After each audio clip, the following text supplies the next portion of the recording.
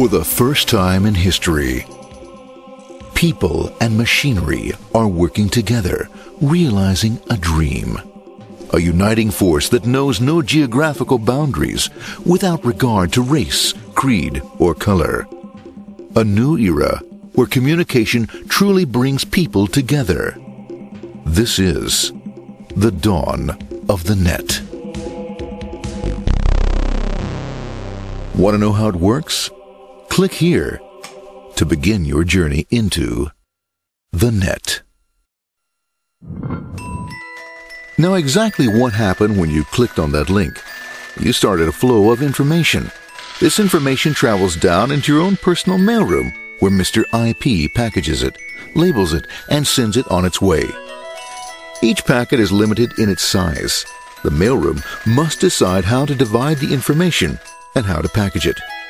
Now, the package needs a label containing important information such as sender's address, receiver's address, and the type of packet it is.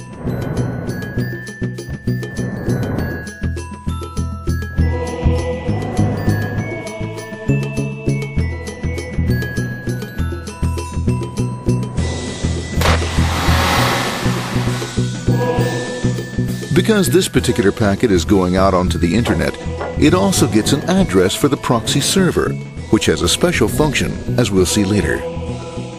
The packet is now launched onto your local area network, or LAN.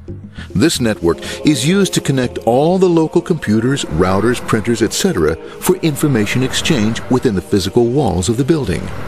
The LAN is a pretty uncontrolled place and, unfortunately, accidents can happen.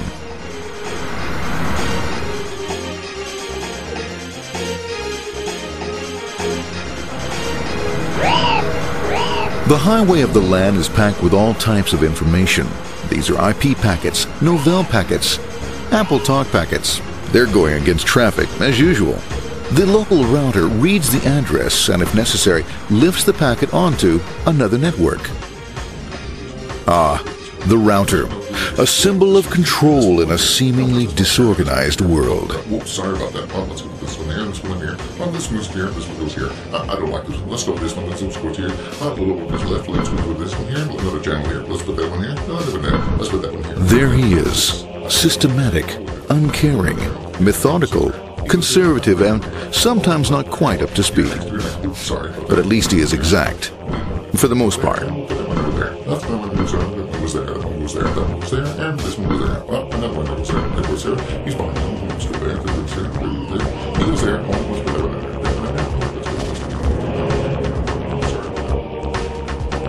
there. As the packets leave the router, they make their way into the corporate intranet and head for the router switch.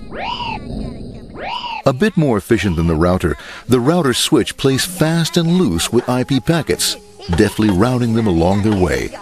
A digital pinball wizard, if you will. Here we go. Here comes another one. And it's another. Watch this, Mom. Here goes. Whoop. We're on the back. Hey, in there, in there, in there. Over the left, over the right, over the left, over the right. You got it. Here it comes. Right on. He shoots. He scores. It's going. Hey, wait. Here, watch out. Here comes another one. Oh, here we go. And it's gone. It's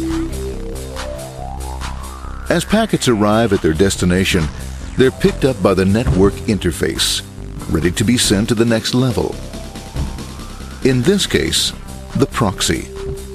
The proxy is used by many companies as sort of a middleman in order to lessen the load on their internet connection, and for security reasons as well. As you can see, the packets are all of various sizes, depending upon their content.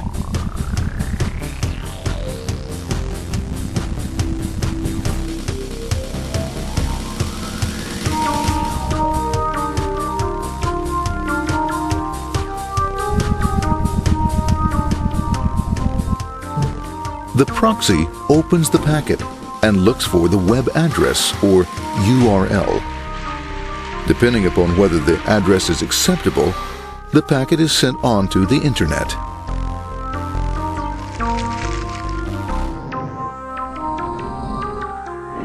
There are, however, some addresses which do not meet with the approval of the proxy, that is to say, corporate or management guidelines. These are summarily dealt with. We'll have none of that. For those who make it, it's on the road again.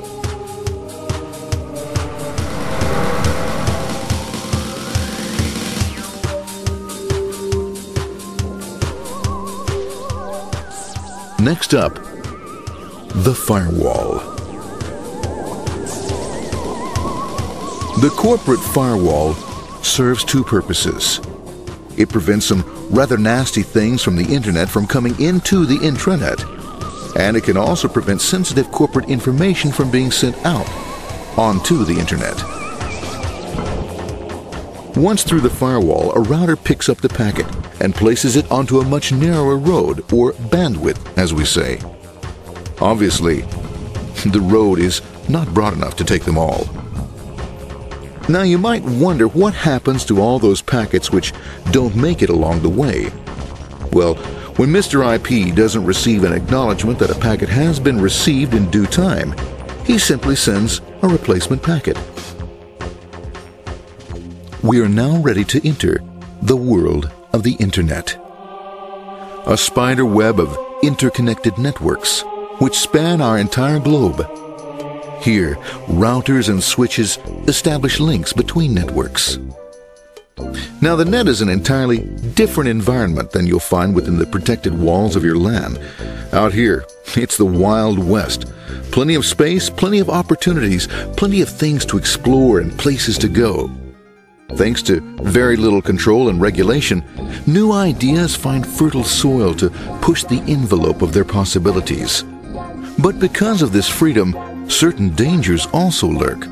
You'll never know when you'll meet the dreaded ping of death. A special version of a normal request ping, which some idiot thought up to mess up unsuspecting hosts. The paths our packets take may be via satellite, telephone lines, wireless, or even transoceanic cable. They don't always take the fastest or shortest routes possible, but they will get there. Eventually. Maybe that's why it's sometimes called the worldwide wait. But when everything is working smoothly, you can circumvent the globe five times over at the drop of a hat. Literally. And all for the cost of a local call or less. Near the end of our destination, we'll find another firewall. Depending upon your perspective as a data packet, the firewall could be a bastion of security or a dreaded adversary. It all depends on which side you're on and what your intentions are. The firewall is designed to let in only those packets that meet its criteria. This firewall is operating on ports 80 and 25 all attempts to enter through other ports are closed for business.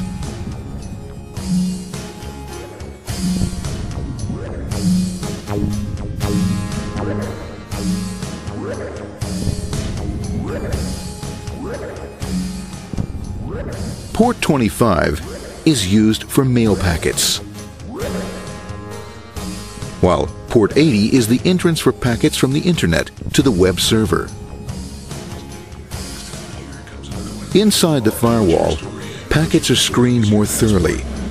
Some packets make it easily through customs, while others look just a bit dubious. Now, the firewall officer is not easily fooled, such as when this ping of death packet tries to disguise itself as a normal ping packet. It's okay. It's okay. No problem. Have a nice day. Be out of here. Bye. For those packets lucky enough to make it this far, the journey is almost over. It's just a line up on the interface to be taken up into the web server. Nowadays, a web server can run on many things, from a mainframe to a webcam to the computer on your desk. Uh, why not your refrigerator? With a proper setup, you can find out if you have the makings for chicken cacciatore or if you have to go shopping. Remember, this is the dawn of the net. Almost anything's possible. One by one, the packets are received, opened, and unpacked. The information they contain, that is, your request for information, is sent on to the web server application.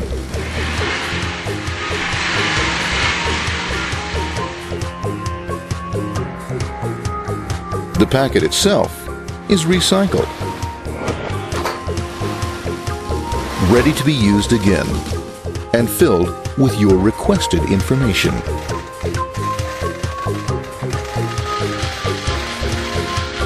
Addressed and sent out on its way back to you. Back past the firewall, routers, and on through to the internet. back through your corporate firewall.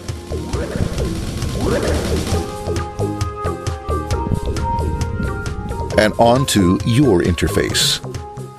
Ready to supply your web browser with the information you requested. That is, this film.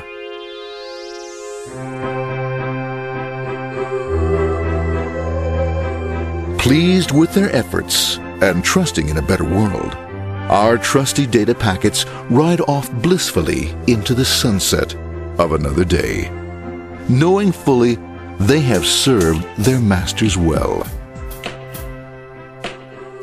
Now, isn't that a happy ending?